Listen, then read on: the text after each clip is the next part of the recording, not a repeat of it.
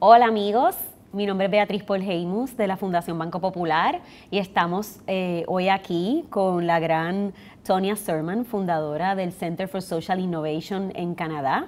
Eh, un lugar sumamente interesante del cual vamos a hablar eh, un poco durante el día de hoy. Eh, nos sentimos sumamente honrados de tener a Tonia eh, aquí con nosotros, así que esperamos que disfruten eh, esta entrevista y que aprendan más sobre lo que es la innovación social. Así que ahora voy a cambiar al inglés para comenzar la entrevista con Tonya. Well, Tonya, hi, welcome. Good morning. Good morning. We're so excited to have you here and learn a little bit more about what social innovation is and everything that you've done uh, in Canada, all that great work that, that you have done. Um, so tell us, what, what is social innovation for, mm -hmm. for you? Mm -hmm. Well, social innovation is a, you know, something that we've been doing for generations, but we now have language to kind of talk about and capture this idea that social innovation is about new ideas and renewed ideas that make the world better in some way. And there's a lot of different definitions of social innovation. Sometimes social innovation is really speaking about the, the invention piece, the social invention, this new idea that actually changes a system. But I think when we when we really uh, want to make sure that people can be included, we look and say, okay, not only do we need an invention, but we need the adoption of that invention. And so, for example, uh, organic food you know, this was a, an example of a, of a social innovation. The idea that we needed to stop using pesticides on our food was, an was a new idea at that time. But really, the only way that that social innovation could have an impact on the world is if it was adopted in a marketplace uh, and in the world. And so I think it's really important to say, you know, social innovation is the biggest, broadest umbrella of what is possible to make the world better. But when we start to really dig into different strategies and different ways, we can we can define it differently. We can understand it differently. Ultimately, it's about the change process. It's about us being intentional about facilitating uh, a new or a renewed idea that makes the world a better place. And who's considered a social, social innovator? innovator? I think that's a personal choice, right? I think a social innovator is somebody who says, you know what, I care. I care to make the world better in particular uh, uh, work or, or field. So maybe it's education, maybe it's social justice, maybe it's environmental sustainability. And it's somebody saying, you know what, I want to be a part of the solution. Uh, and so a social innovator can be anyone. It can be anybody uh, that is working within a municipality. It could be within a civil society organization. It could be within a corporation. And it's a spirit of um, and a set of values that we bring to our work, no matter what role we might have. And I think that's a very empowering place to mm-hmm. say, I can be uh, wherever I am. I can be a part of the solution. I can bring these ideas and these values into my work. And I, so I think that's a, it's a very broad umbrella. And then I think it gets super complicated when we get into it.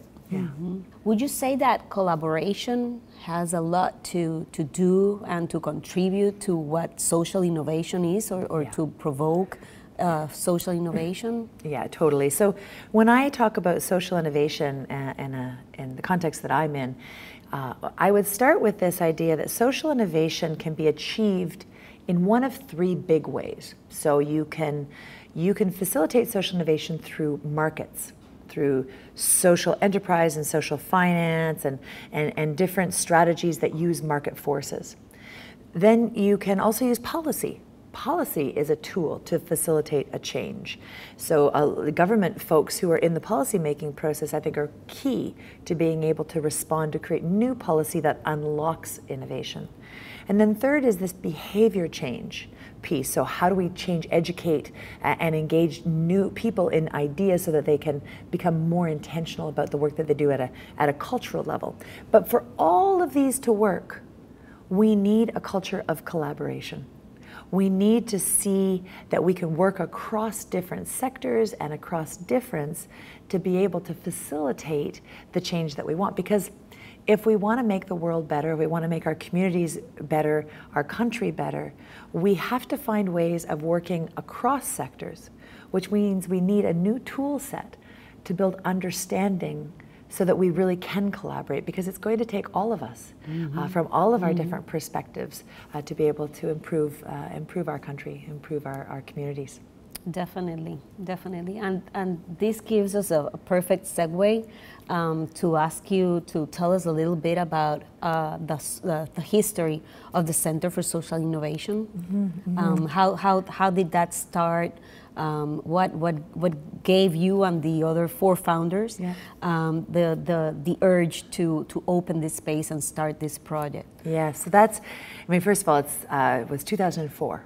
So it's almost 13 years ago now. Uh, and, you know, it was a really simple idea. Uh, we were working in the nonprofit sector and there were very limited resources. We were, we were cash poor. And, um, and we simply asked this question how could we share? How could we share? And how do we share at a very practical level? So, photocopiers and, and at the time, fax machines and mm-hmm, internet mm-hmm. access and, and, and meeting rooms. How do we share these facilities to reduce our costs? But what was very interesting is very, very quickly, the sharing of the practical things was easy. It was really the sharing of our ideas, of our understanding, and sharing uh, our, our, our, sort of the, the ability for us to understand each other's mission and to see how we were all connected. Mm-hmm. And so, anyway, the Center for Social Innovation started with 14 organizations that came from health and education and social justice and environment who were all wanting to sort of explore how to share. Uh, and we realized that we had way more that connected us than that divided us. But we started as a social enterprise. So we're a nonprofit business, mm-hmm. which means that we needed to charge rent, and we did. And in our first quarter of operations, we generated a $572 surplus, which was amazing. Uh-huh, uh-huh. And we knew we had a scalable business, right? Yes. And so so what happened is in 2007 we expanded, we grew our community from what had become about 21 organizations to 175 organizations. Wow. We we started to engage the for-profit social ventures more in this process. And in 2010 we bought a building uh, to expand our business again. And in order to buy that building, we created something called a community bond. Mm-hmm. Uh, this community bond offered a 4% return to investors uh, who would be willing to loan us the money secured against the value of the building. And this allowed us to expand to another 200 organizations. So we were probably at about 400 organizations by this time. And then we opened up and we tried to do something really um, different. We had been located in, in dense urban centers. Uh, and in, in 2012, we opened our third location in a low income neighborhood in Regent Park, one of the uh, uh sort of a Toronto community housing uh, um, project. And mm-hmm. that, that community has actually been uh, vital for our understanding of how social innovation works in real community, in, mm-hmm. in more more difficult, more challenging topics. And so we've really, that community has become a leader in our social cohesion work, uh, really looking deeply at diversity and inclusion as sort of core values of that community as we adapt our programs to support everyone, everyone in our communities. In 2013, crazy, we got mm-hmm. invited to open up in New York City. Uh, and so, yeah, it's an amazing. That's so exciting. It was pretty crazy. And yes. at first we said, no, no, no, no, no, no, no. That's like too big and too much. And uh, but we had incredible partners, uh, real estate partners there.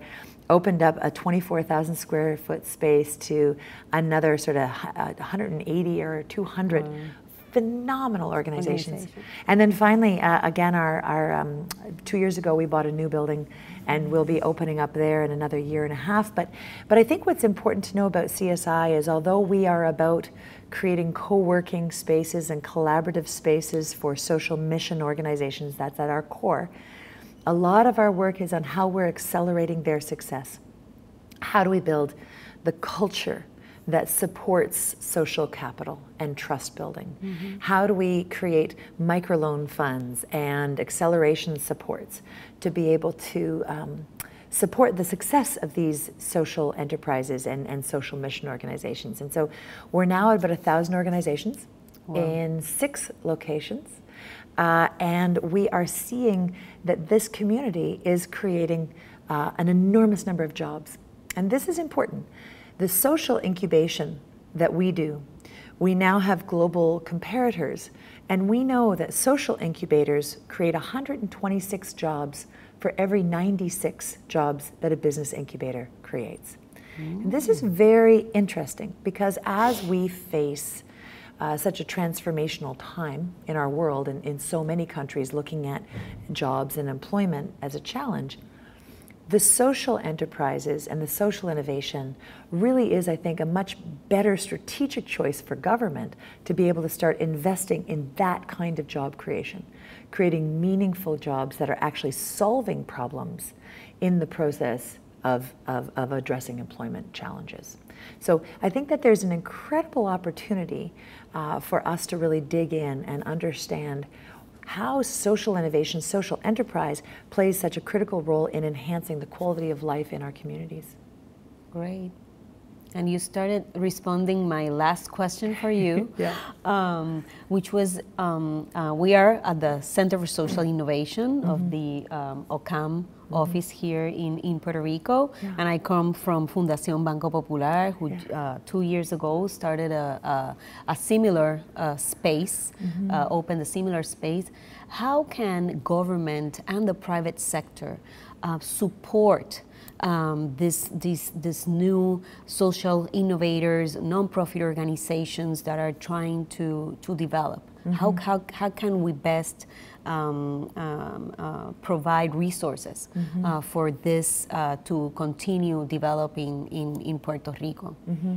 Well, I mean, I think it's, uh, I think your space uh, and this space here are uh, amazing foundations on which to build uh, these kinds of collaborations. And, and, you know, when I first saw uh, um, and heard about these 78 municipalities, it reminded me uh, of, a, of um, a project in France uh, called the 27th region, 26th region, 27th, one of the regions. Uh, and what it is is in France they have created a shared R&D department for their 26 regions, and the 27th region is the research and innovation department for all of these other regions. And so this is very interesting as a model. And it wouldn't be the first to be able to say, how can we make sure that we're allocating a certain portion of our resources to actually innovating new ideas that could then be propagated across the different regions. And so this is, um, you know, I think it's a very, very concrete way to look at public sector innovation right? Mm-hmm. Is how mm-hmm. are we ensuring that there's a space, a dedicated space for public sector innovation? And to me, that is what uh, my immediate thought when mm-hmm. I heard about about this Center for Social Innovation, what it was about. But but what you're saying is something even more interesting. It's this question of how do we recognize that each sector civil society, the social venture, the nonprofit, the government, and our corporations all need to be dedicating some space for research and innovation. Mm-hmm. And this question of, well, how does innovation emerge most quickly? Well, we know in Canada that innovation happens at the periphery and at the intersections. So innovation happens when we bring different people together from different perspectives, and it's in that tension that we find new ideas emerging that are different. And so the space that you've created with the Center for Collaboration and Social Innovation as a convening space to bring people together from these different perspectives, bringing the entrepreneurial energy together with the really concrete challenges and needs of, this, of the not-for-profit sector, and then being able to intersect and bring the foundation and corporate views into this thing the question is how do we, we, we've created the right container. You've created the right container. And now the question is how do you animate to get the kinds of um, uh, emergent innovations? And very importantly, for all, how do we create safe spaces where we can fail? Mm-hmm. How do we create at those intersections, we, we create space, resources, ideas, money, we, and we create a, a bit of a, an incubator, literally a safe room around these and say, okay, we're okay if these fail, but we're going to try. And until we create some spaces where we can try, we can experiment, we can push, we can, you know, beat up these new ideas and hack them down, uh, we're, we're, our, our tendency is going to be to repeat the same mistakes or the same programs. And so, really, truly, I believe that it's in these intersections and these safe spaces that we can create new ideas. But don't try to do it all at once. Pilot them, study them, measure them, really understand, get a handle on what would the unexpected outcomes might be. There might be negative ones. Mm-hmm. How do we create those spaces where we can truly experiment, be okay with failure, and, and then be able to, to maintain that sense of learning and possibility and hope as we evolve these new ideas. And quite honestly, I think Puerto Rico is in an incredible position. You have real need. And really, necessity is the mother of invention. Yes. You have real need, but you also have the right kinds of partners that are coming together and incredible leadership in your communities. And so I am I am ridiculously hopeful and excited for you. That is amazing. And you have introduced and I do not want to end on a low note, no. but you have introduced the the the aspect of failure, mm. that it's okay to fail mm-hmm. and that when you're trying to innovate, you have to uh, give yourself permission to fail mm-hmm. because sometimes it's from failure that the, you, you will get the best innovations in, in, in the future. Yeah. Um, and, and that is something that, that, that I think that, that we need to, to embrace uh, more. Mm-hmm. Um, so, so can you uh, just um, uh, give us more on, uh, yes on, on that before we, we finish? Yeah, you know, I just failure is not bad. Failure is mm-hmm. great because now you know that something doesn't work.